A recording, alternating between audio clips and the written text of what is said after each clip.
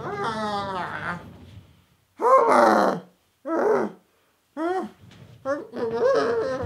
oh it seems that I have been taken hostage. I just watched the Ref.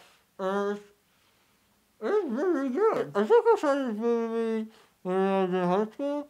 And uh, this is a movie, it's Christmas movie. And it ended up being a lot better than I thought it was to be. Okay, I can't do that the rest of this video. The Ref stars Denis Leary as a burglar in the 90s. At first I thought this movie was to go down the Home Alone route and like really try to rip off Home Alone, and it doesn't really do that despite it being about Christmas and a burglar.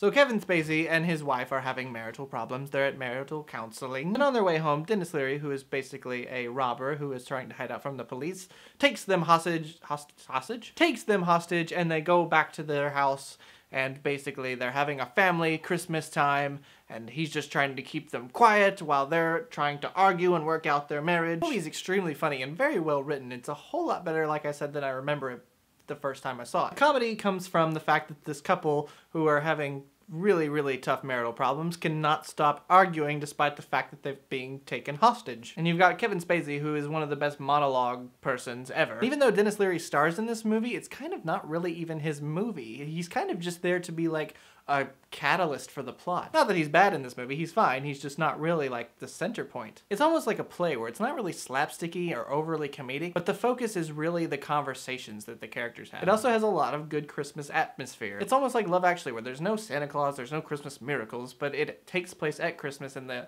environment just feels very like, like a real Christmas. It's on Netflix, so if you're in the mood for a Christmas movie that's all about dysfunctional family time and is really funny, check it out. I should probably call the police about the hostage situation that just happened. Good thing they didn't take my pet T-Rex. What would I do?